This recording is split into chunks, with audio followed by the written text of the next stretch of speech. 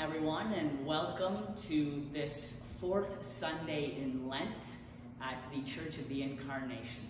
We are happy to have you with us. We begin our service this morning with the penitential rite. Seek the Lord while he wills to be found. Call upon him when he draws near. Let the wicked forsake their ways and the evil ones their thoughts.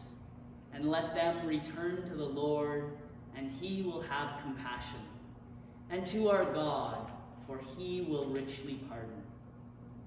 Dear friends in Christ, as we prepare to worship Almighty God, let us with penitent and obedient hearts confess our sins, that we may obtain forgiveness by his infinite goodness and mercy. Together, most merciful God, we confess that we have sinned against you in thought, word, and deed, by what we have done and by what we have left undone. We have not loved you with our whole heart.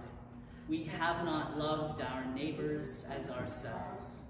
We are truly sorry and we humbly repent.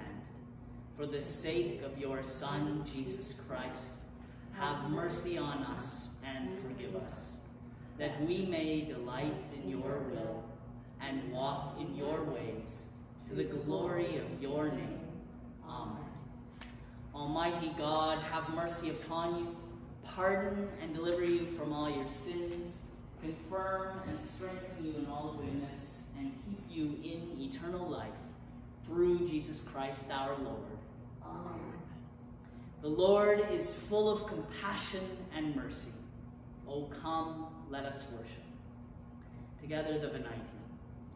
Come, let us sing to the Lord. Let us shout for joy to the rock of our salvation. Let us come before his presence with thanksgiving and raise a loud shout to him with psalms. For the Lord is a great God and a great King above all gods. In his hand are the caverns of the earth, and the heights of the hills are his also. The sea is his, for he made it, and his hands have molded the dry land.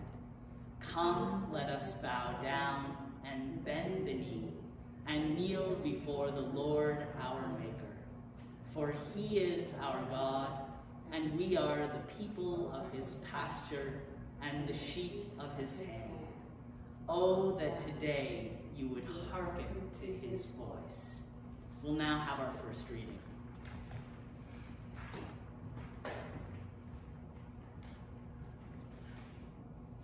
A reading from the book of Numbers. From Mount Hor they set out by the way up to the Red Sea to go around the land of Edom. But the people became impatient on the way. The people spoke against God and against Moses. Why have you brought us up out of Egypt to die in the wilderness? For there is no food and no water, and we detest this miserable food. Then the Lord sent poisonous serpents among the people, and they bit the people, so that many Israelites died. The people came to Moses and said, We have sinned by speaking against the Lord and against you. Pray to the Lord to take away the serpents from us. So Moses prayed for the people, and the Lord said to Moses, Make a poisonous serpent and set it on a pole and everyone who is bitten shall look at it and live.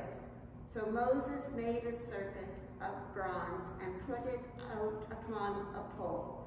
And whenever a serpent bit someone, that person would look at the serpent of the bronze and live. Hear what the Spirit is saying to the church. Thanks be to God. Psalm 107, verses 1 to 3 and 17 to 22. O God, give thanks to the Lord, for he is good, for his steadfast love endures forever. Let the redeemed of the Lord say so, those he redeemed from trouble. And gathered in from the lands, from the east and from the west, from the north and from the south Some were sick through their sinful ways, and because of their iniquities endured affliction. They loathed any kind of food, and they drew near to the gates of death. Then they cried to the Lord in their trouble, and he saved them from their distress. He sent out his word and healed them and delivered them from destruction. Let them thank the Lord for his steadfast love, for his wonderful works. And let them offer thanksgiving sacrifices and tell of his deeds with songs of joy.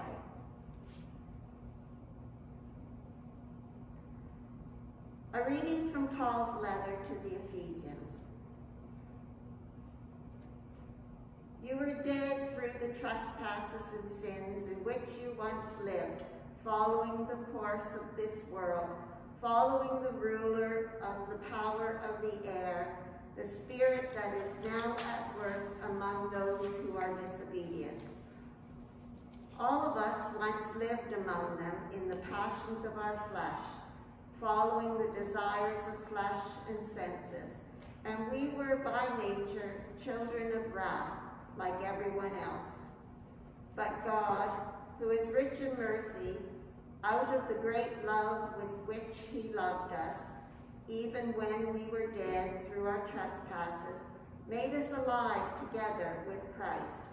By grace you have been saved, and raised us up with him, and seated us with him in the heavenly places in Christ Jesus, so that in the ages to come he might show the immeasurable riches of his grace in kindness towards us in Christ Jesus.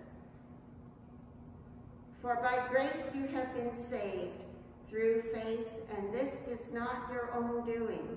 It is the gift of God, not the result of works, so that no one may boast.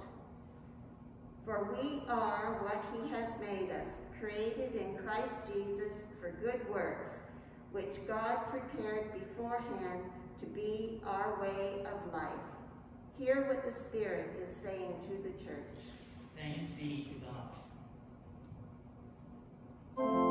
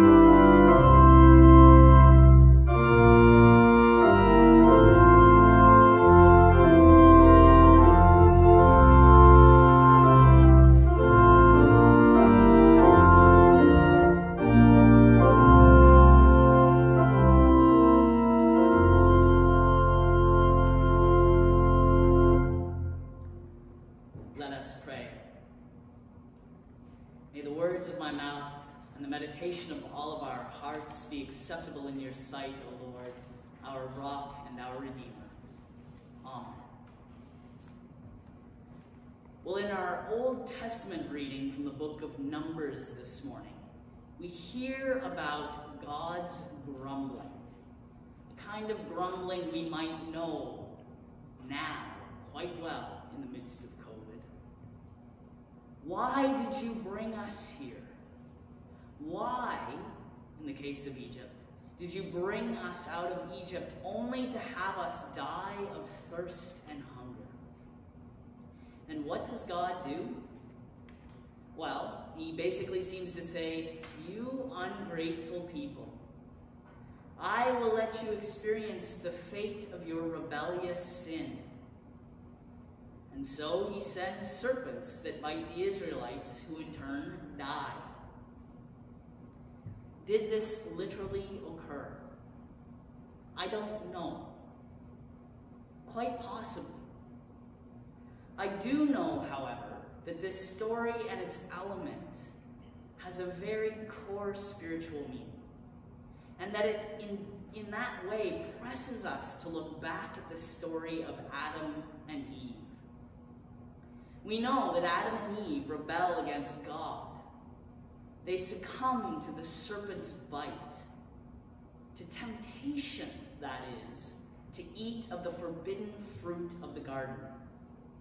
And the consequence of that rebellion, of the desire to live apart from God and his commandments, is death. Let me be really clear. Let me be really clear about. Death is the humanly chosen and real consequence of turning away from the one who makes and sustains us and brings us to our final ends. We've called the action of turning away sin. We know this. So the consequence of choosing to live without God, if God were to grant it, would be the absence of existing at all or existing in a community of people who do what is right in their own eyes, even if that means hurting or killing another. And we see this get played out in Scripture. If you don't believe me, have a read of the book of Judges. And of course, we see it play out through the world's history. A world headed toward death, where we mar and maim and control and desecrate one another. Paul puts a blunt point on this when he says in our epistle lesson today You were dead through the trespasses and sins in which you once lived, following the course or the way of the world.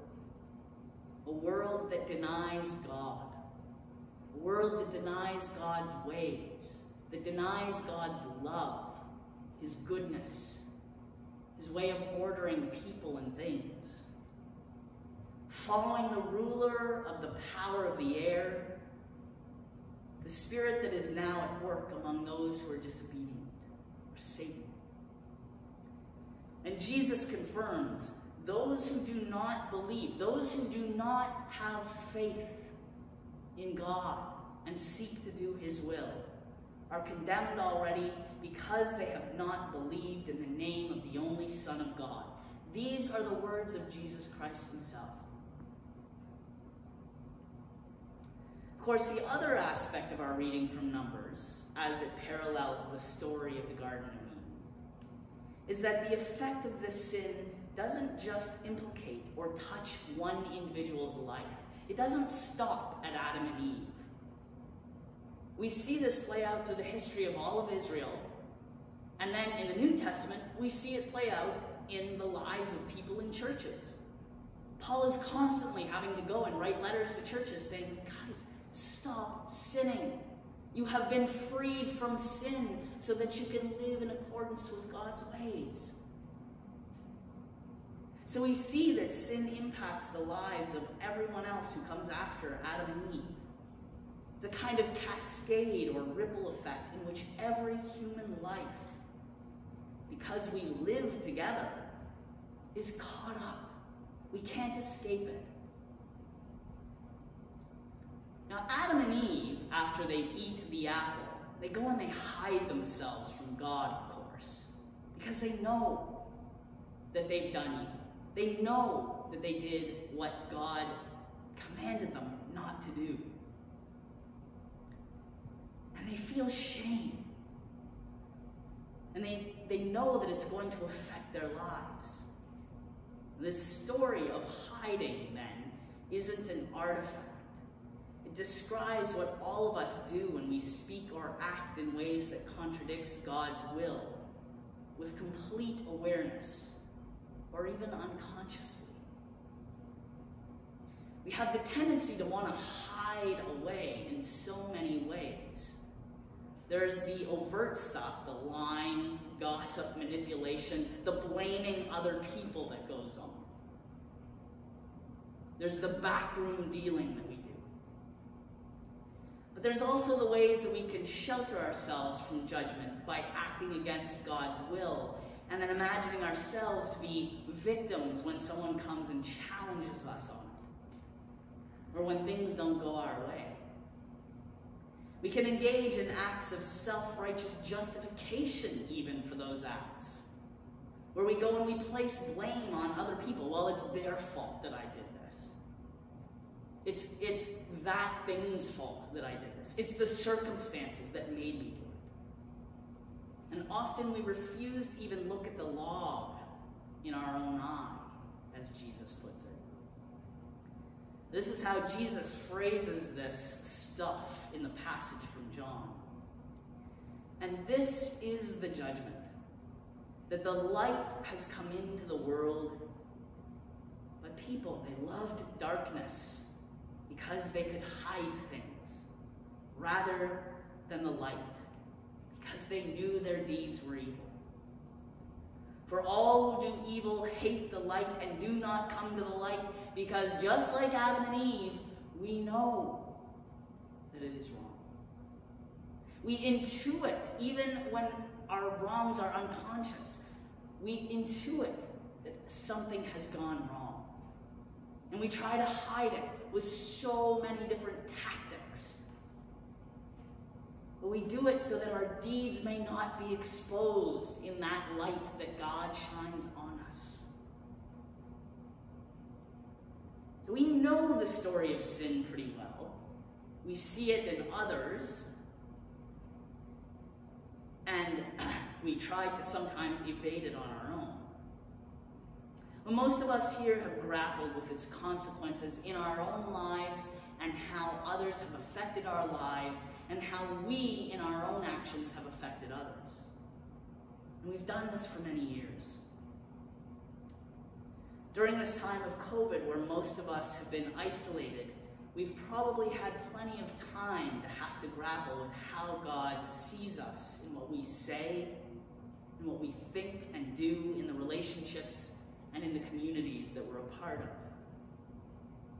We have to wonder what sort of witness to God we have provided in those relationships. And if we haven't done this sort of reflection, now would be a good time to do so. Every morning when we're doing morning prayer, there's a collect for this time. It comes from the 1662 Book of Common Prayer. And in that collect, it talks about the fact that God sent a pestilence, a plague among them, the Israelites, that is, for the rebellion against God and Moses and Aaron, his servants, in the desert. And the collect includes a prayer that just as the people prayed to God and asked for his forgiveness, and God had mercy on them, that we too would experience God's mercy out of a plague that was sent to wake them up. That plague of serpents, the plague of sin, the plague of disease. Oftentimes we want to ignore what's going on in our world and set it aside as if God has no providence, as if God has no agency or control over what's going on. It's just something that happens. But now is the time for us to ask in the midst of what is going on, in the midst of this plague that is amongst us. How are we living before God? Are we being faithful? What are we being called to wake up to? Jesus summarizes how it's possible for us. Reflecting on this story of Moses and the serpents from the book of Numbers, Jesus says, And just as Moses raised up the serpent on a pole that, when looked upon, caused an Israelite who was bitten or who succumbed to sin to be healed, so I, the Son of Man, will be lifted up on the cross. I have undone the bite of the serpent. I have undone, I have reconciled, I have overcome the sin that brings us to death. So look upon me, my friends. And when you do, when you come to look upon me, when you pick up your own cross and follow me, when you let go of the things of this world that you cling to, and you look upon me and you follow, when you stop hiding and submit yourself to me, and bring yourself before me into the light that makes clear to you my commandments, I will cause you to be healed. A spiritual healing. A healing that brings about life now and eternally. This, of course, is not your own doing. You can't get there by yourself, my friends. Paul reiterates in his letter to the Ephesian church it is simply because God loves you. He desires you to learn, to change your thinking and your behaviors. And He has allowed you to come to Him by sending His Son to you, by sending Jesus into the world to change human destiny from life to death. That is the how. Are you willing to take hold of that now? Are you being woken up in the midst of what's going on right now? Challenged, questioned. Are you allowing that to penetrate into you? To receive this grace that has come in Jesus Christ requires an active response of love. A relationship with God that is lived out over time a committed relationship. Now, as you all know, to be in relationship with someone, rather than to selfishly seek to have only your own needs met or to control others, requires getting to know the other person. Requires listening, hearing, questioning sometimes, sometimes even testing, asking the other for help, and in the case of God, going up and saying, God, I know that you are the one who has made me. I know that you are the one who knows how to perfectly love me. Help me, for I cannot do this on my own. In a relationship, it is vulnerability and openness to change that will sustain you through time in love. It is what it is to love. It requires that you open yourself up not with the expectation of a reward, but rather with a, the desire to act in a way that will sustain that relationship through time. To be righteous before God is God's expectation and requirement for us. Anything less is offensive to him. Why? It's not because God is pestilent. It's not because he's a jerk. It's because anything less than that is harmful to our own lives. And it ends up harming others. So to be righteous before God then requires our active response our faith, our stepping into a prolonged and lifetime relationship, simply because that is how we get to know who God is and how He calls us to live, to use our gifts. It is how we are able to open ourselves to God over time, to hear His judgment when we go astray in a way that can harm us or other people. And it's to get to know who God is so we can seek His wisdom. So that we can seek His wise, although sometimes challenging and sometimes even painful correction. So that we can step out of the darkness and into the light that He desires us to live by.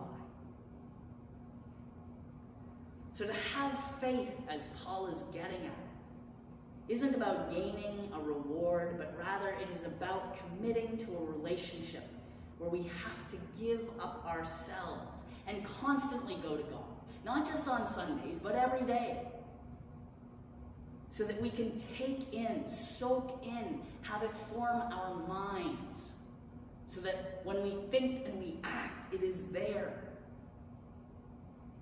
That transformative grace that enables us to experience and do the will of God for ourselves, and most of all, for others in this brief time that we have been gifted with life. Amen.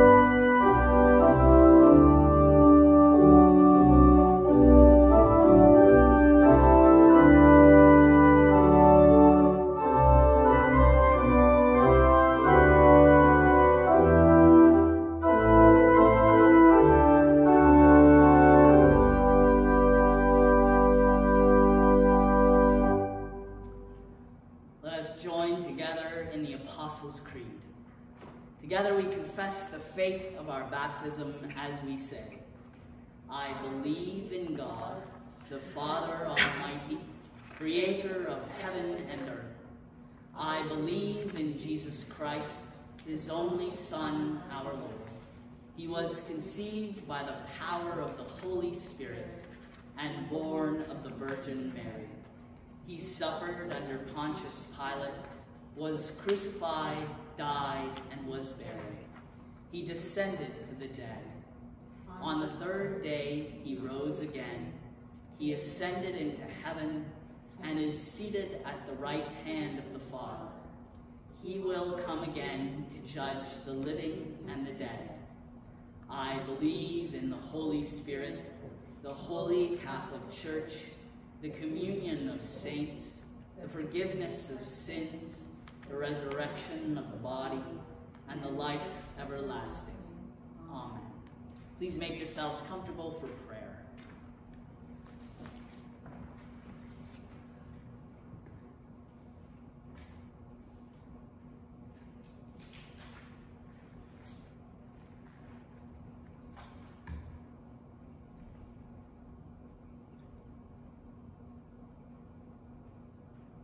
With confidence and trust, let us pray to the Lord, saying, Lord, have mercy.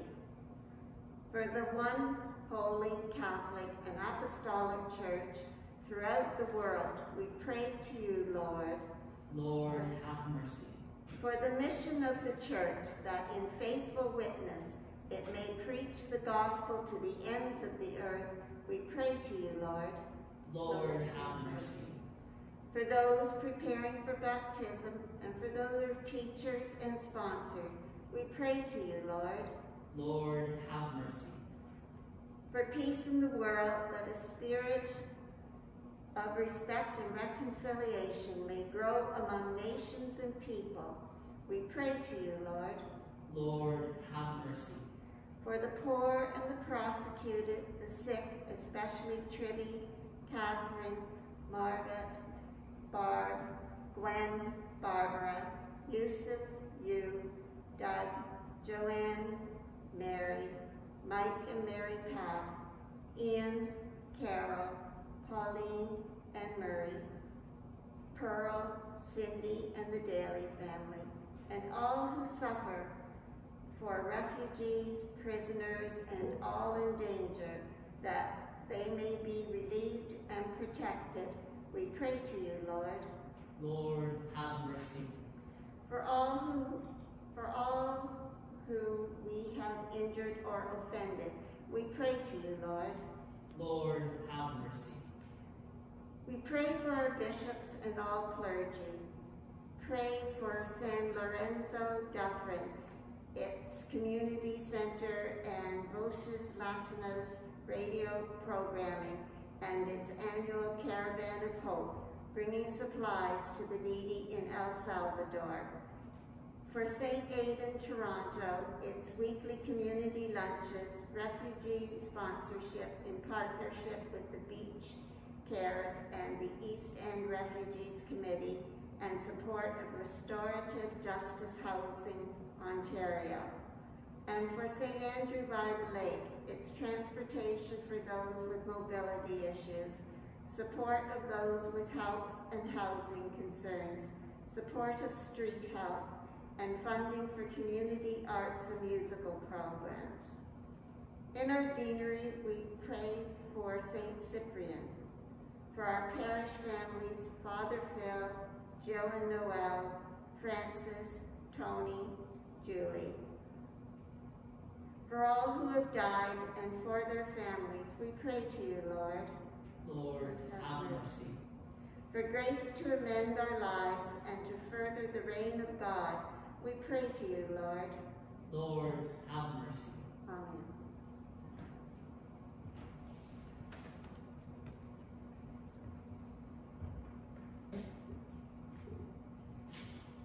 Our collect for this day. Gracious Father, whose blessed Son, Jesus Christ, came from heaven to be the true bread which gives life to the world, evermore give us this bread, that he may live in us and we in him, who lives and reigns with you in the Holy Spirit, one God, now and forever. Amen. And now, as our Savior Christ has taught us, we are bold to say, Our Father, who art in heaven, hallowed be thy name. Thy kingdom come, thy will be done, on earth as it is in heaven. Give us this day our daily bread, and forgive us our trespasses, as we forgive those who trespass against us. And lead us not into temptation, but deliver us from evil. For thine is the kingdom, the power, and the glory, forever and ever. Amen. Glory to God, whose power working in us can do infinitely more than we can ask or imagine. Glory to God from generation to generation, in the church and in Christ Jesus, forever and ever. Amen. The peace of God, which passes all understanding, keep your hearts and minds in the knowledge and love of God and of his Son, Jesus Christ our Lord. And the blessing of God Almighty, the Father, the Son, and the Holy Spirit be amongst you this day and forevermore. Amen.